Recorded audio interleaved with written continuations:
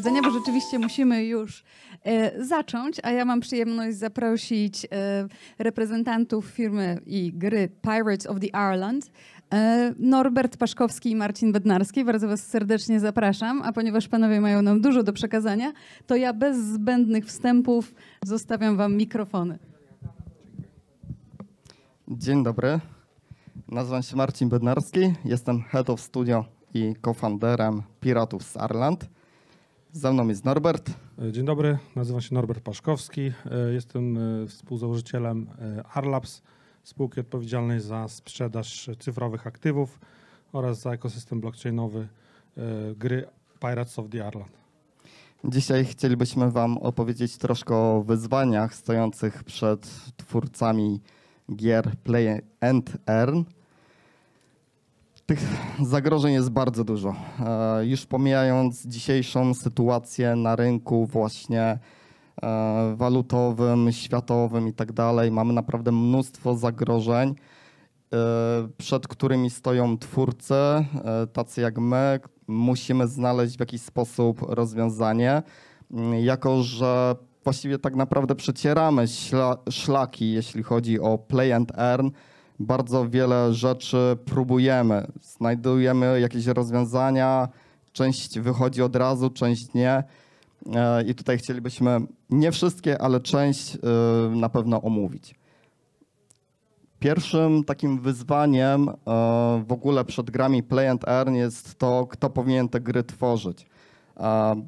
Mm, Powiedzmy, takie pojedyncze osoby mają bardzo ciężko, żeby przebić się gdzieś e, do świata ze swoim produktem, ponieważ gracze jednak mają już pewne oczekiwania w stosunku do tego, jak ta gra powinna wyglądać, jak powinna się zachowywać. No i taki pojedynczy solo developer niestety nie jest w stanie najczęściej e, sam stworzyć super grę. Z kolei z drugiej strony mamy duże korporacje, które troszkę mogą się bać zainwestować w no, dosyć ryzykowny temat, jakim jest blockchain, e, krypto. E, Część korporacji próbuje, e, część jeszcze się wstrzymuje. Są różne odzewy ze świata, sami wiecie zapewne jak to wygląda.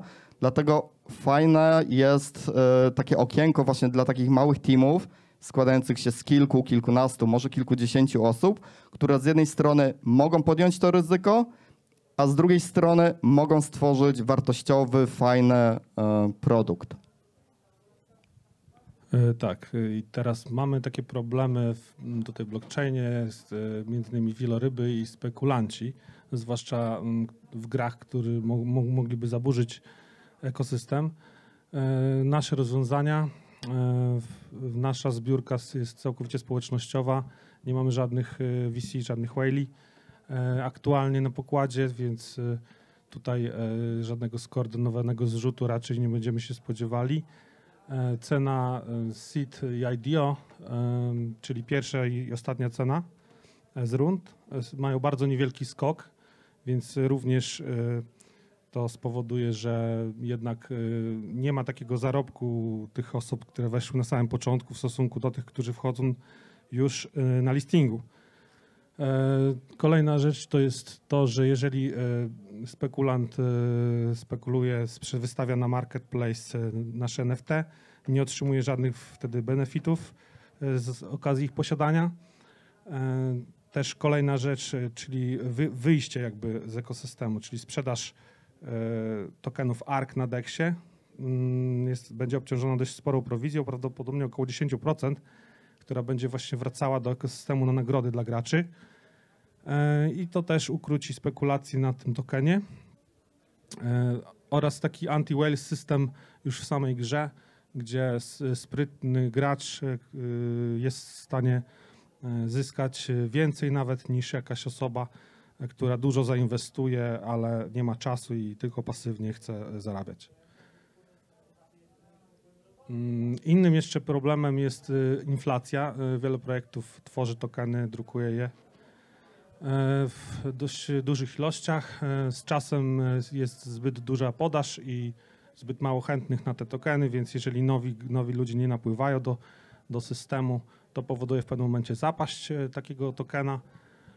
U nas mamy skarbiec zainwestowany na nagrody na 5 lat. y, Z tego, z tego tylko są wydawane nagrody oraz z wydawanego rumu.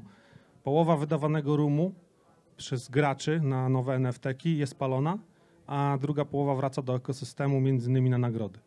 Także nie, nie, jest ograniczona ilość, y, rum spada do 20% całości swojej i wtedy zatrzymuje się palenie. Jest też ograniczona ilość aktywów NFT, między innymi jeżeli chodzi o y, kolekcję męskich Genesis Piratów będzie maksymalnie 10 tysięcy oraz y, możliwość utraty niektórych aktywów NFT y, w y, ryzykownych y, high risk, high reward misjach. Kolejnym zagrożeniem jest to, że stworzymy grę albo ktoś stworzy grę i nagle nie będzie miał kto w tą grę zagrać. E, więc tak zwany pusty metaverse. E, wiadomo, mamy whale, mamy spekulantów, e, mamy ludzi, którzy są takimi kryptoentuzjastami, którzy jak ta mała rybka będą chcieli sobie zagrać i pociukać w tą grę. Natomiast musimy też dotrzeć do normalnych graczy, którzy albo podchodzą sceptycznie do gier krypto, albo w ogóle o nich nie wiedzą, więc tutaj na pewno też musimy w tą stronę wyciągnąć rękę. Pierwszym tak jakby punktem 10 na 10, tak? Czyli gra musi być po prostu dobra. Wiadomo, jesteśmy w świecie NFT, w świecie krypto, ale ja tworząc e, grę zakładam, że jeżeli ja z tej gry wytnę w całości krypto, wytnę w całości NFT, to wtedy i tak będzie się fajnie w to grało. Dla mnie to to jest podstawa gry. Wierzę, że wtedy po prostu będziemy w stanie przyciągnąć dużą ilość graczy do naszego e, uniwersum. Drugą rzeczą jest niski próg wejścia, czyli nie możemy mieć e, sytuacji takiej, gdzie gracz przychodzi do komputera i musi dwa dni grać, e, albo jakieś tutoriale oglądać, albo jakieś transmisje na YouTubie. W jaki sposób ja mam zagrać w tą grę, tak? To musi być bardzo łatwe, intuicyjne, oparte na pewnych schematach znanych albo ulepszonych, żeby każdy mógł e, sobie w tą grę zagrać. No i właśnie, gra powinna być dla każdego. My w naszym projekcie mamy trzy moduły. Pierwszym z nich jest tryb MOBA, gdzie mogą zagrać gracze, którzy wolą taką grę akcji, e, troszkę sobie postrzelać, e, pomachać mieczem, tak? Ale mamy też tryby bardziej spokojne, tryb ekonomiczny, gdzie możemy mm, udekorować sobie swoją wyspę, e, gdzie możemy rozbudować ją, ale powiedzmy seria Settlers, e, budując kolejne budynki, rozwijając ekonomię oraz warstwę strategiczną, gdzie te surowce pomiędzy wyspami będziemy mogli transportować, wybierając jakąś bardziej bezpieczną drogę, bądź też niebezpieczną przez wyspy, przez wody niebezpieczne. E, ale z kolei wtedy narażamy się na sytuację taką, że nasz statek zostanie zaatakowany, nasz łup zostanie przejęty, albo też będziemy mogli właśnie się wcielić w rolę piratów i grasować po tych niebezpiecznych wyspach, czyhając na e, właśnie jakiś skarb. No i e, kolejną rzeczą są darmowe DLC, to znaczy będziemy chcieli rozwijać e, tą grę, żeby ludzie się nią nie znudzili i dawać ten content za darmo, tak? Czyli wchodząc raz w nasz świat, będziemy chcieli, żeby jednak coraz e, więcej fajnych tych rzeczy cały czas powstawało. Tak, free to play i adopcja. Jest kilka tutaj elementów, które wykorzystujemy lub chcemy wykorzystać w celu przyciągnięcia właśnie większej ilości graczy.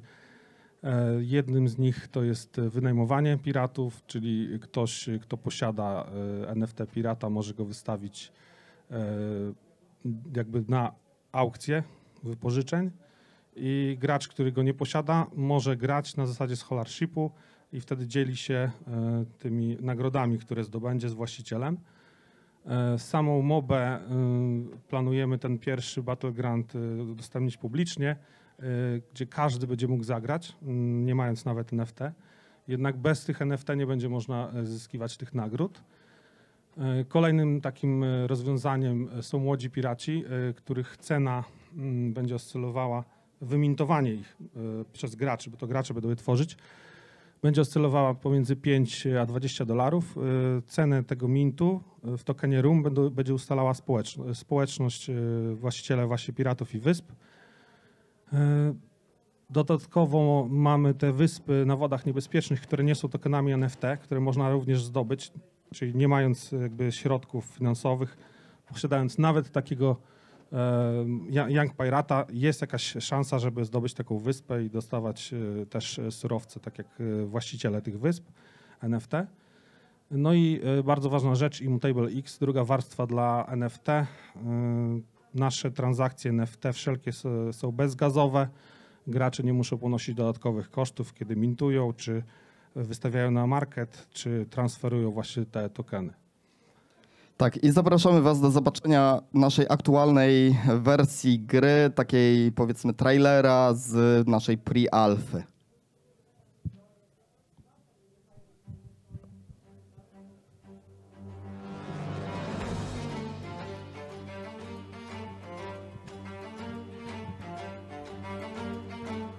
Ahoy, me hearties!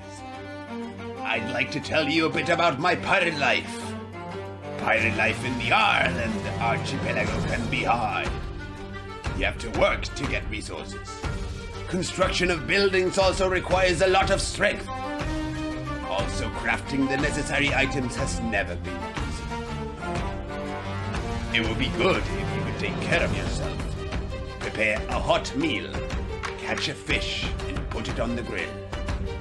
Yeah, sometimes you can eat fish, but you know, Sometimes fish can eat you. Sorry. Sometimes you just need to harvest crops. Or some nasty pirates. Yeah, pirates. Diverse pirates.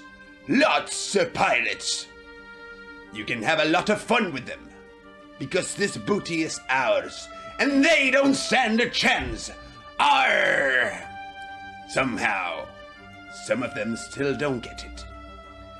As a decent pirate, it's your job to burn, plunder, drink rum, board other ships, sink ships, conquer the islands, fence, shoot others. But this ubiquitous magic, how can some people love it? Drink rum!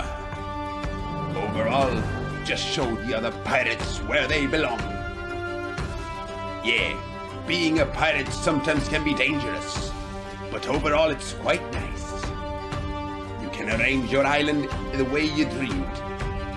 Well, you can also lead a calmer life. Sail on a ship, transport goods and merchandise, trade with others. To earn some profits to become famous and rich. And then, you know, the women show up. Ha! Hello, mighty pirates. Hey, hey! Just live like a pirate, pirate!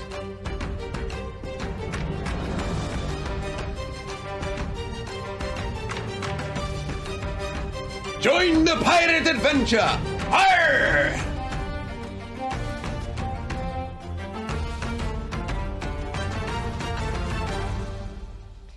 E, tak, także dziękujemy za zobaczenie naszego krótkiego trailerka. E, na naszym stoisku zlokalizowanym na pierwszym piętrze możecie sobie zagrać taką bardzo wczesną wersję gry. Także zapraszam do nas na pierwsze piętro.